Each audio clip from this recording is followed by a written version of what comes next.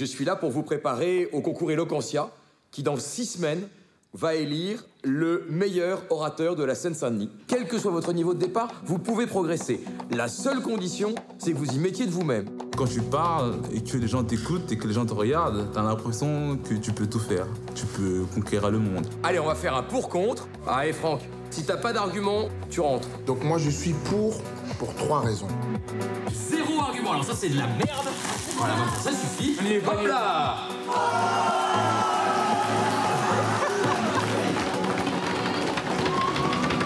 En fait, vous êtes des grands starbés. J'aime parler devant les gens, j'aime être écouté, j'aime euh, j'aime faire ressentir des émotions. Vous pensez quoi du fait que je veuille devenir acteur? Moi, ce que je veux, c'est que tu sois heureux. Moi, si j'ai envie de prendre la parole, c'est parce que j'ai envie de repenser le féminisme. La parole, c'est.